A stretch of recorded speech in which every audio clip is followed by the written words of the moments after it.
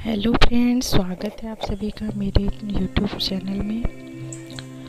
तो आज मैं बना रही हूँ मटर की, हरे मटर की सब्ज़ी और पराठे, रोटी और गोभी।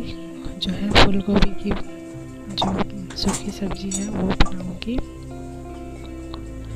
तो सुबह सुबह बहुत ही ज़्यादा ठंड लगती है। ठंड में सुबह सुबह काम करना पड़ता है। हम लोग को हाउस वाइफ लोग को तो यही रोज़ सुबह सुबह कर क्या सकते हैं? कोई इसका ऑप्शन भी तो नहीं है।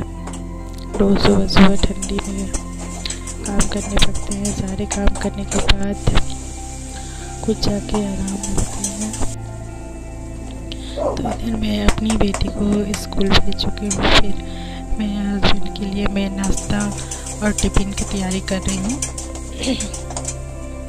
तो यहाँ पर बहुत ज़्यादा ही सर्दी पड़ रही है।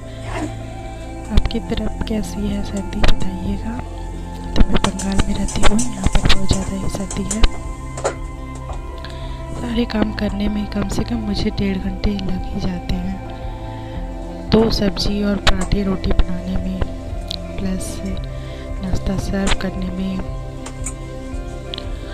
तब जाके मैं अपना घर की सफ़ाई करके उसके बाद मैं अपने लिए नाश्ता स्नान करके कर पाती हूँ।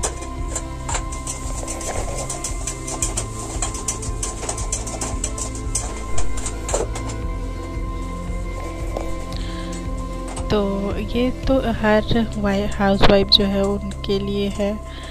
तो जितनी जल्दी सुबह हम लोग उठ पाते हैं, उतना जल्दी ये काम कर पाएँगे, नहीं तो लेट ही हो जाता है हड़बड़ हड़बड़ करके सब काम करना पड़ता है।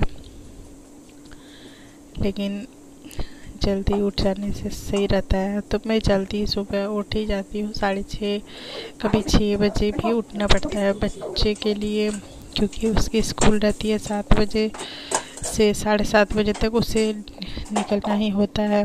इस सर्दी में भी इतना सुबह सुबह स्कूल तो अब तो एक महीना से पूरा ज़्यादा ही सर्दी पड़ रहा था। अब धीरे धीरे सर्दी कम भी हो रहा है तो हम लोग बोल भी रहे थे कि इतनी सर्दी में भी बच्चों लोग को मतलब टाइम नहीं चेंज हो रही है।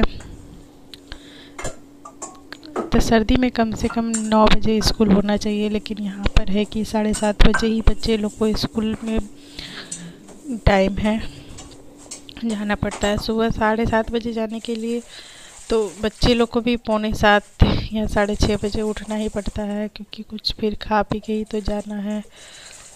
भूखे बच्चे को कैसे भेज सकती हूँ? और साढ़े सात बजे जाने के लिए हम मम्मियों को कम से कम छः साढ़े छः बजे उठना ही पड़ेगा मिनिमम नहीं तो फिर बच्चों को लेट ही हो जाता है।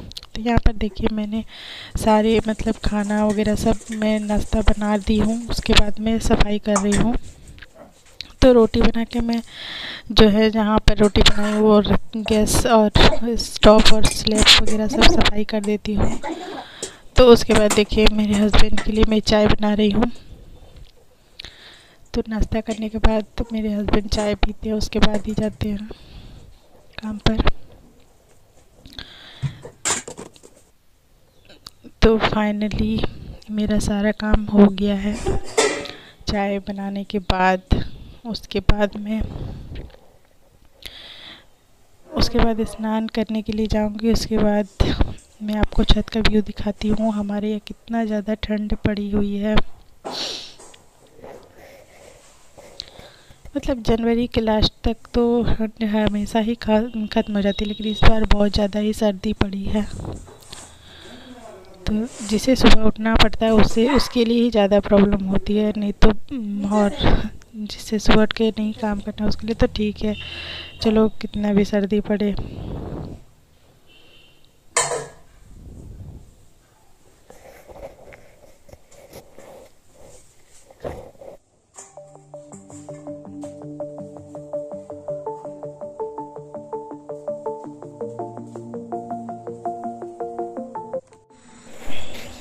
तो ये है हमारे छत का नज़ारा।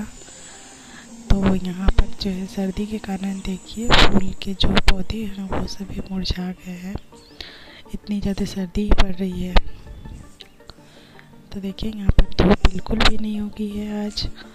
तो मैं कपड़े सारे डाल दी हूँ सूखने के लिए, उसके बाद मैं नीचे जाऊँगी, नाश्ता करूँगी।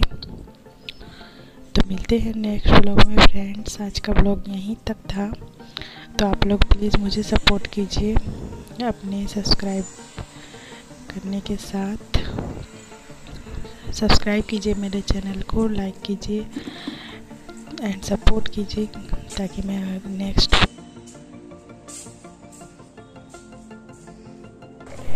तो मिलते हैं नेक्स्ट ब्लॉग में। Bye bye thank you for watching video